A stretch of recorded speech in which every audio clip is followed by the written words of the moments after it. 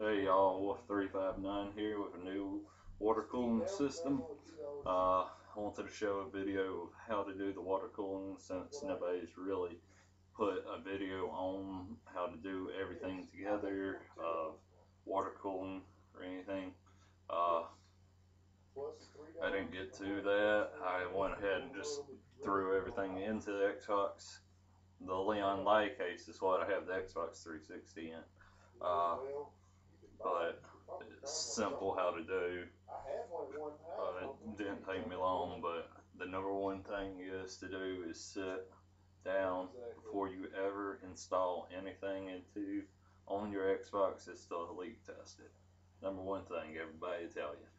But uh, what I did was I bought a Leon Light case, put my Xbox 360 in it, uh, took my time at buying all the parts for water cooling. Uh, I bought the Leon Light uh, temp and fan controller, put that in. Uh, I'll do uh, temp for everything. It also controls my fans. I have the temp controlling my video graphics card and my CPU. Uh, I'll show you how that works. Uh, there's also a video online of a guy that has it on his Xbox. Uh, I can't remember, but you'll be able to find his link up. Uh, but I got a XP, XSPC water block and a XSPC uh, reservoir for my pump.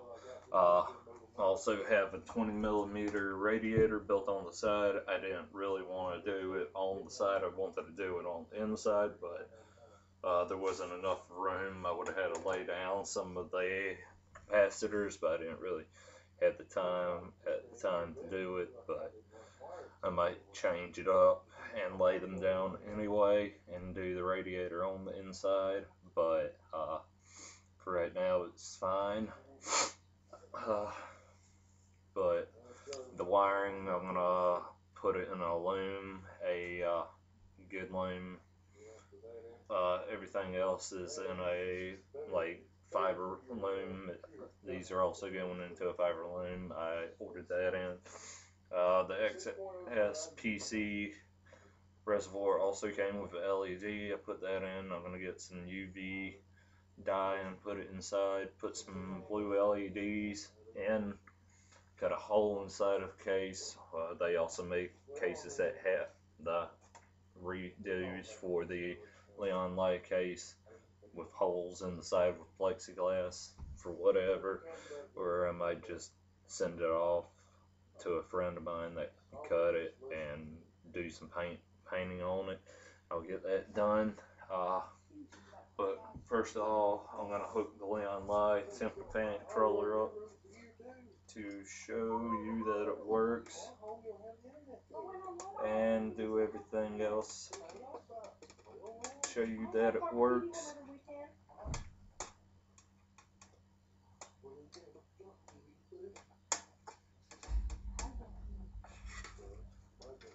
Just give me a little while y'all. So expand the wire some I also could not have done this without my friends' help or anything.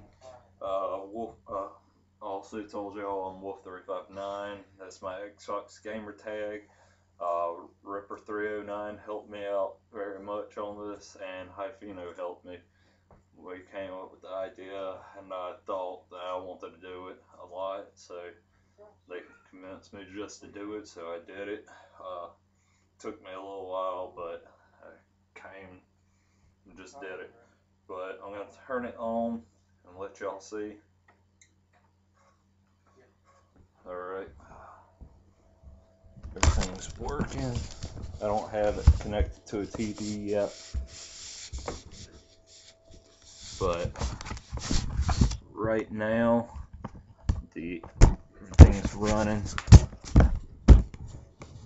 And pump's running. So blue LED light going on. Fan. It's working on the back. There's the water block. There we go. Good picture.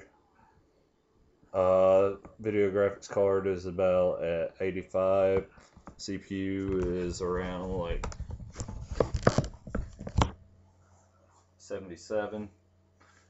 But what's good about this is the Leon Live temp and fan controller can also tell me if it's overheating, like if the pump goes, it'll start alerting me, so they'll tell me if I need to shut it off to double check or anything. But it took me on this project a lot of hours in it because I took two hours to sit down and I just uh, had everything laid out. I put everything up to before I ever removed any of the heat sinks on the Xbox itself motherboard.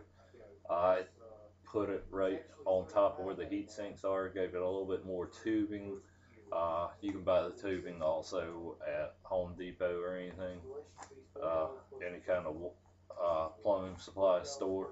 Uh, but I can give you y'all the, every single link I went to to find all the water cooling stuff. It, I probably spent about a good close to 200 or less for everything, but it was worth it because uh, the water cooling, I'll never have the red ring of death.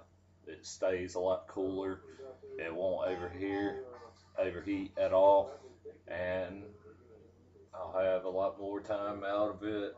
No, no really overheating at all, but uh, it's just something I always wanted to do. So everything works. The pump's working fine. Uh, let me just turn it off. I'll disconnect the Leon temp and fan controller. I can also turn it on for just a little while to let y'all be able to see everything on the inside working no problems. It's a little messy at the time. But turn it on. The fan ain't gonna work right now. It's a little messy. Those are all the wires for the Leon Live temp fan controller. So they're fine where they're at. They're neat. They'll get uh, I'm gonna loom all the temp control temp areas. I'm also to put a temp gauge in in line with to be able to tell the temp on the water temp. Uh, I'm to figure out what the third wire does for the pump. Uh, if it does how fast the pump's moving, I'm going to hook that up to the Leon Live. Not bad at all, but everything's very good. I'm going to do anything and everything I can. I'm going to add a lot more stuff to it, but not too much to overload the power.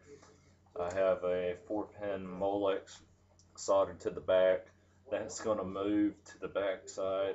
All this wiring is going to move to the back. There's not going to be a single wire up in here. It's all going to move to the back. Uh, the Molex is going to move to the back. All the wiring is going to be nice and neat except for these, but they're all going to be loomed into one, but with enough deal to be able to go to their spots.